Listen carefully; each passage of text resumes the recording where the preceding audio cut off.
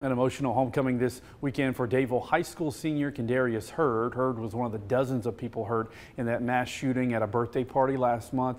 This weekend, he was released from the hospital, welcomed home there with a big parade. Monet Stevens was there. It's all bells and whistles for Kendarius Hurd as he finally gets to come home from the hospital. Some of them didn't, didn't make it, and he's one of the ones that did. And God spared this kid.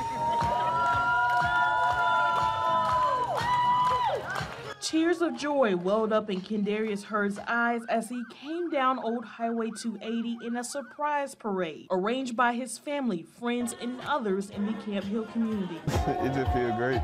KD, as many affectionately call him, had been in the hospital for over a month after he and others were shot at a Sweet 16 birthday party in Dadeville. At first, when I got in the hospital, I was dealing with a lot of back pain, but as I transferred to Spain, it just, they, they helped me a lot, and that pain went away.